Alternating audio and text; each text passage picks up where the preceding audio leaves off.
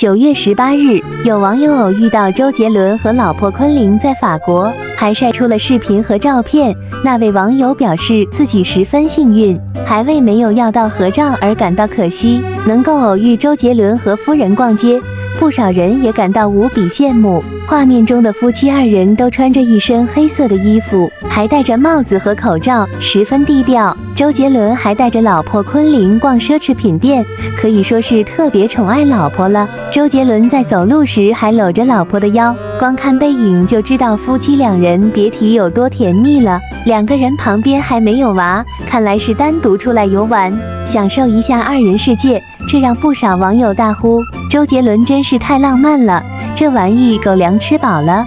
期待周董日后的新作品，希望他的孩子们能够健康快乐的成长。祝他们一家越来越好。